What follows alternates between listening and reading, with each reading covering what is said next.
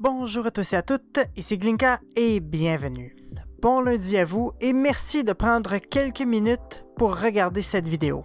En parlant de ça, si à n'importe quel moment vous vous retrouvez à aimer cette vidéo, écrasez-moi ce bouton like ou abonnez-vous si ce n'est pas déjà fait. Comme tous les lundis, on se retrouve pour le récapitulatif du ATV, Volt Update et Sneak Peek de la semaine.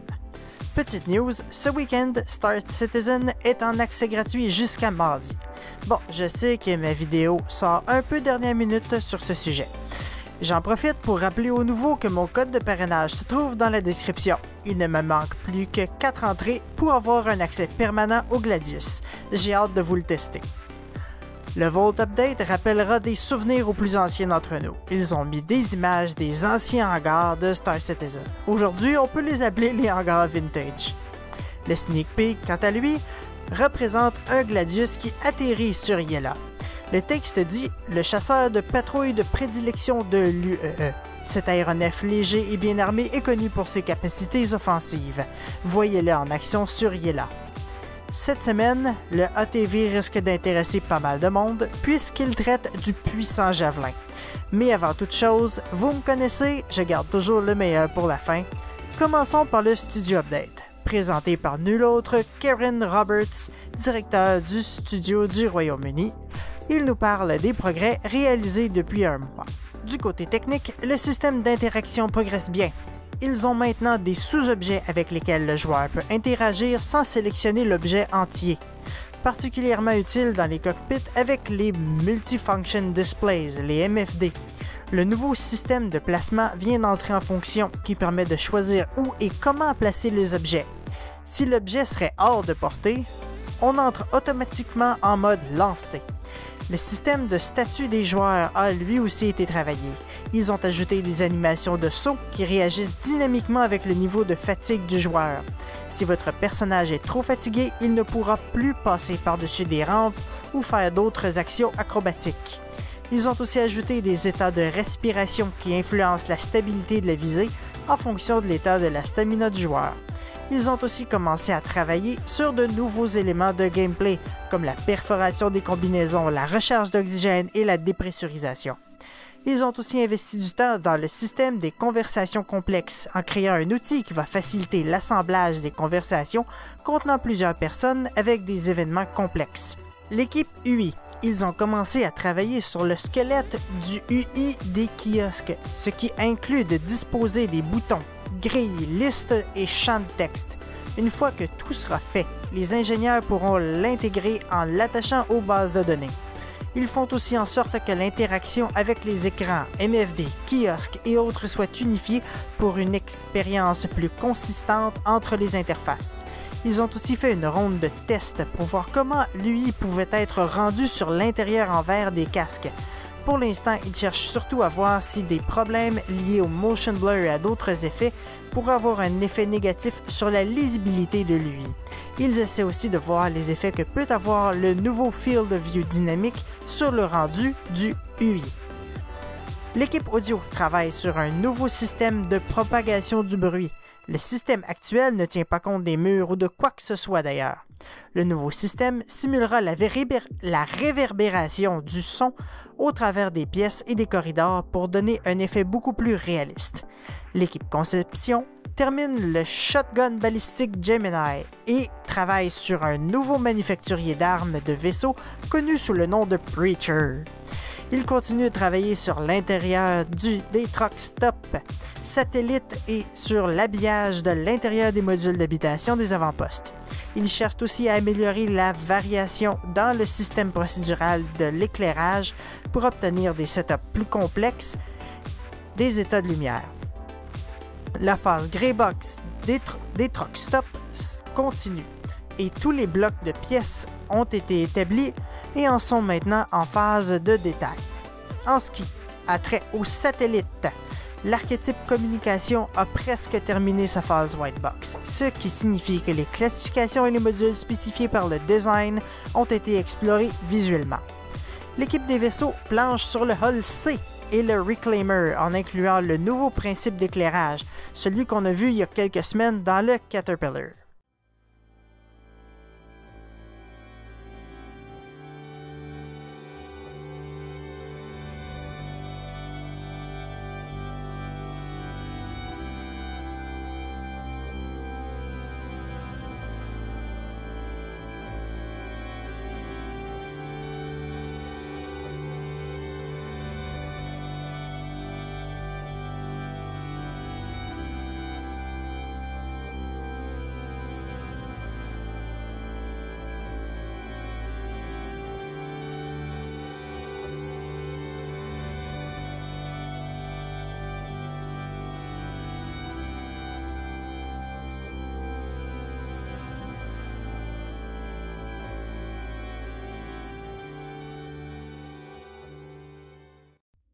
L'équipe des effets visuels ont fait beaucoup de progrès.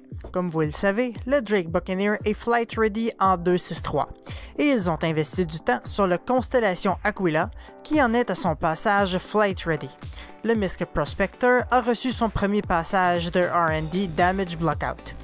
Du côté des effets d'armes, ils ont amélioré leur guide de style qui va les aider à mieux définir les effets visuels en fonction des manufacturiers et du type d'énergie. Le rework du KLWE Gallant a eu son premier passage comme le APAR Scourge Railgun.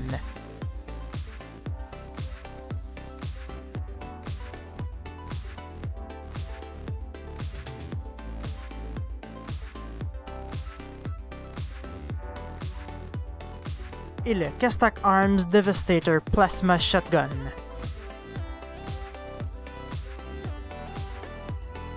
Ils ont aussi amélioré leur bibliothèque d'impact.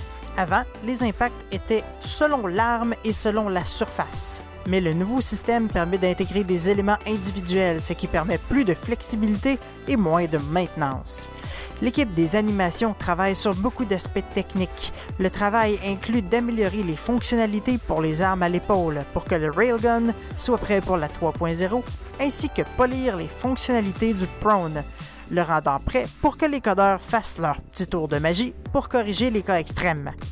Le travail sur le stamina continue d'être poli pour donner un effet solide de respiration entre les différents états, soit normal, fatigué et hyperventilation. Il y a eu aussi beaucoup d'améliorations sur les reloads du Shotgun Devastator, du Gallant, Arrowhead, Railgun et le nouveau pistolet. Ils ont continué à travailler les animations faciales pour les cinématiques de Squadron 42 et de l'univers persistant. Ils ont participé aux enregistrements faciaux de Londres pour la 3.0 et certains membres de l'équipe ont fait le voyage vers Los Angeles pour d'excitantes réunions. Ceci devrait aider à accélérer la production des besoins des dialogues pour Squadron 42 et l'univers persistant. Ceci conclut le Studio Update. C'est maintenant le moment du shipshade du javelin d'Aegis Dynamics. Mais avant, vous devez absolument voir ça.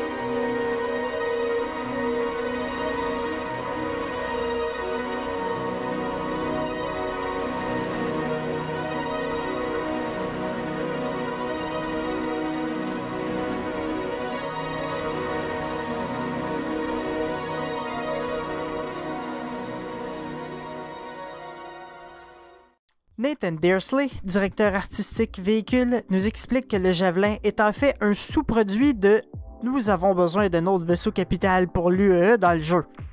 Comme l'Idris, le Javelin est fabriqué par Aegis et donc rendait la conception d'un tel vaisseau plus facile. Ils avaient en plus l'expérience acquise lors du développement de l'Idris. Il y a beaucoup de similarités entre les deux vaisseaux au niveau de l'esthétique et du design. Ça leur a permis de recycler 60% de l'Idris pour la fabrication du Javelin, donc 40% de neuf pour l'intérieur. L'extérieur, quant à elle, ressemble plus à prends ce qui fonctionne en termes de texture, shader, etc. Le modèle sera toujours unique, il n'y a rien à faire avec ça. Mais si on met l'Idris à côté du Javelin, on est capable de dire qu'ils appartiennent à la même flotte, euh, qu'ils sont du même fabricant. Au bout du compte, le cycle de production du Javelin, c'est pas mal le cycle de production de l'Idris. Quand ils ont commencé le Javelin, il fallait commencer par faire le plan du plancher. Il fallait déterminer de quoi ils avaient besoin. Le générateur de gravité, les réacteurs, le mess hall, les baraquements, etc. C'est un vaisseau tellement immense qu'il fallait penser à ces choses avant tout le reste. Sinon, ben, il aurait fallu le recommencer une demi-douzaine de fois. Ils en sont arrivés à trois decks, trois ponts distincts. Le pont inférieur, d'ingénierie, le pont central d'habitation, pardon, et puis le pont supérieur de technique. Tous les ponts sont bien définis ils ont leur propre look, si on peut dire. Si une section du vaisseau était endommagée ou était perdue, ça ferait comme sur un bateau de croisière. Cette section se fermerait. Il y a des cloisons immenses avec ces portes massives qui, en cas de perforation de la coque, isoleraient la section touchée. Ce serait ensuite le travail de l'ingénieur de rediriger la puissance. L'Idris a ce grand hangar qu'il traverse au centre. Le Javelin, lui, il n'y a pas ça. Il y a un petit, un genre de hangar utilitaire pour un transport de troupes. Le plus cool de son hangar, c'est son plancher qui est un peu comme sa porte. Il faut atterrir sur la plateforme qui s'abaisse ensuite. Mais lorsqu'elle est relevée, la plateforme devient la porte. Les grandes différences entre les deux vaisseaux sont évidemment les hangars. Le Javelin ne peut transporter autant de chasseurs que l'Idris, mais il y a beaucoup d'armement. Le vaisseau entier est couvert de tourelles. Ils ont fait quelque chose que je trouve super cool pour la, la tourelle télécommandée à l'arrière du vaisseau. Elle est montée sur un rail. Actuellement, quand on vole vers un vaisseau, on ne peut pas dire si une tourelle est active ou pas, à moins qu'elle ne rentre dans la caisse et il y a à peu près très peu de tourelles qui font ça. Celle du javelin, elle se rétracte à l'arrière du vaisseau entre les propulseurs. C'est un endroit qui est mieux protégé par les boucliers quand elle n'est pas en fonction.